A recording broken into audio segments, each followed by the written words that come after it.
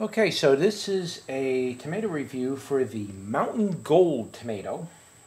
Now, it's the first year I've ever grown it, and it didn't do too good due to a insurge of late blight, which took out most of my tomato plants, but I did manage to get a few off this plant, and I'm able to do a review on it.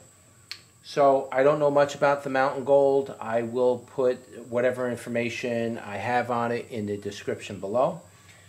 But why don't we do a Brix test right out the gate and see what the sugar content is. Appears to be a pretty moist tomato. It's running at about 5 on the Brix, which means that it's probably not going to be terribly sweet. Uh, sometimes it is, even regardless of it saying 5, it, you might get, it, it might be, it just means that there's lower mineral content. So if my Brix meter says 5 and it's not really sweet, then that means the mineral content was probably pretty high and the sugar was low.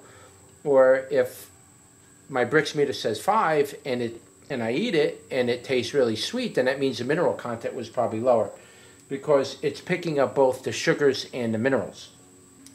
Let's take a closer look at what it looks like on the inside.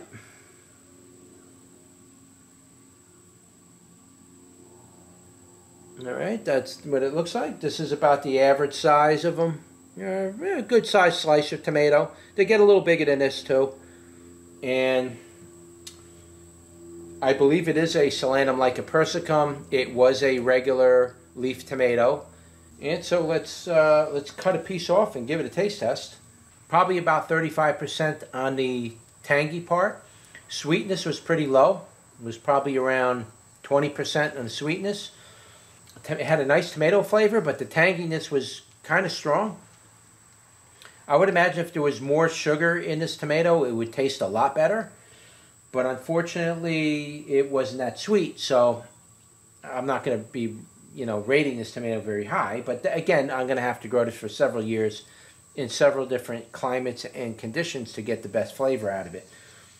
Um, the texture of the tomato was kind of soft and chalky though it was still moist in general, it had a plenty of uh, tomato moisture in it, but it was still kind of chalky a little bit.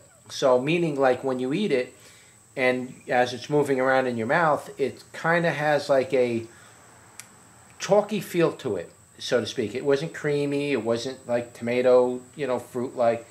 But I do I do these reviews to give you an idea on what you'll probably get and what to expect.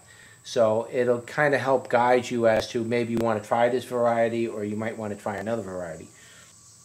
I'm not 100% pleased with it, but I wouldn't say that I couldn't use this tomato in my cooking. For example, uh, using it, adding it to sauce. I think adding it to soup would be fine because uh, be, being the tomato is so soft already, you wouldn't have to cook very long and it would really thicken up your soup a little bit, give it some body.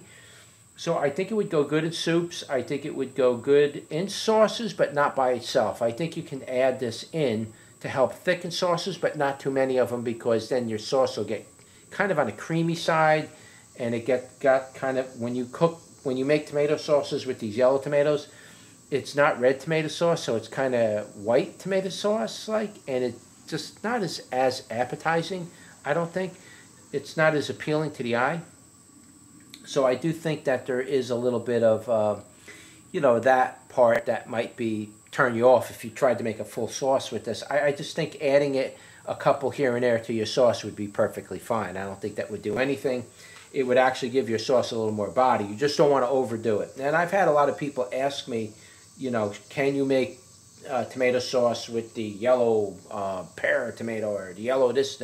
I'm like, yeah, you can, but it's the texture of the sauce and, and the and the color of it isn't necessarily eye appealing, depending on presentation. So, for example, if I'm making a pizza pie, and I use yellow tomatoes and I do it just the right way with like three different cheeses in it, yeah, that might actually have a nice little twist to it. But if I just made like a regular pizza pie and used it, it may not look as appealing. And so that's why I say that. So not to digress too much off of it, but again, I'll give you another look at it. A little, little bit of cat facing on the bottom. It's pretty nice tomato. Uh, I don't think I'm going to offer seeds on my website this year for it. I'll maybe next year when I get more tomatoes out of it, uh, I'll offer it then. But for now, we're just doing a review on it, and we'll see how it goes next year. And if I get a bumper crop from it, and then I'll offer the seeds on my website. All right, so that was your tomato review for the Mountain Gold. Like, share, and subscribe, and I'll see you on the next one.